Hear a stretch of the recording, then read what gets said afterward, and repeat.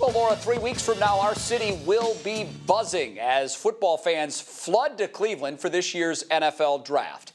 All the fun starts three weeks from yesterday. It will go Thursday, Friday, Saturday of that week, ending on May 1st. Progress has been underway for the past few days building out the main stage. That's near First Energy Stadium. Brandon Simmons is our tech expert.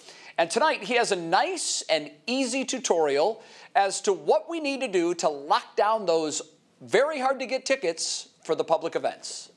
Just behind First Energy Stadium, the NFL's draft theater is quickly taking shape. The 90 foot high arches that will encompass the main stage show the size of this three week build out. Hundreds of workers on site are working to make sure Cleveland's draft day will be one to remember. And the only thing moving quicker than construction are the tickets for the fan experience itself. If you want to be part of draft weekend, now is the time. And you can go ahead and reserve a spot today. So um, that would be for the NFL Draft fan experience, which will encompass everything from First Energy Stadium all the way to the Rock Hall. First up, head to the App Store and download the NFL One Pass app. You'll be prompted to create an account if you don't have one already. Once you log in, you'll find a schedule of events that make up the NFL fan experience. This doesn't include access to events happening at the main stage, but there will be video monitors available to see what's happening.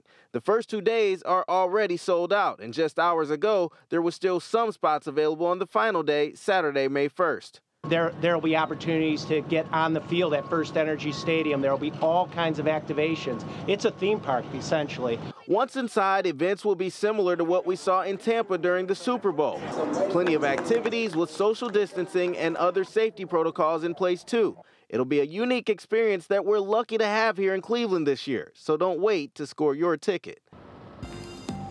Now, Jay, again, remember this entire area is going to be closed off, as he said, from the west end of First Energy Stadium all the way to the Rock Hall. There will only be two entrances at the corners where you have to have that One Pass app open and ready to go in order to get inside. So, again, I don't know that there's a, a capacity limit, so to speak, for the outdoor portion. They haven't decided that just yet. So, there's a chance more tickets could go on sale, but that's something that you don't want to count on. You want to get them now while they are still available, albeit very few yeah, whatever's left, you better act fast because they're not going to last for long. Brandon, last year, of course, the draft was supposed to be in Las Vegas. That was canceled, and the draft essentially ended up happening from the commissioner's basement.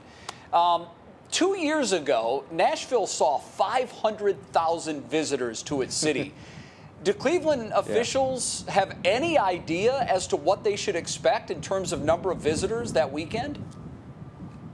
Well, that weekend, it's it's going to be a tough estimate because this is new for everybody. But they did stress uh, right. at that media event a couple days ago that this would be a scaled down event. They said don't expect to see anything like Nashville because we do have to have those health safety protocols in place. So it's going to be scaled back, but still, they're expecting it to still be a huge fanfare here and a lot of excitement because really this is sort of the reopening to summer in their eyes. So they're looking forward to everything that's going to be happening here along the lakefront. And many fans are as well. Brandon Simmons live tonight on What's New. Brandon, thanks.